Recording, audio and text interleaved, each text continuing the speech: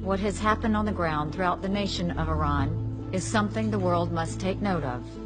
It is a powerful exhibition of brave people who have become so fed up with their oppressive government that they're willing to risk their lives in protest.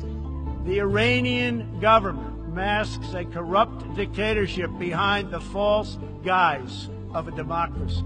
It has turned a wealthy country with a rich history and culture into an economically depleted rogue state whose chief exports are violence, bloodshed, and chaos.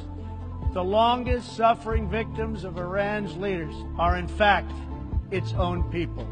Last year alone, even as its citizens cried out for help with basic necessities, Iran devoted more than $4 billion to malign activities in Syria, Lebanon, elsewhere across the region. Meanwhile, the average Iranian family is 15% poorer today than it was 10 years ago. And so they are telling the government, quote, think of us.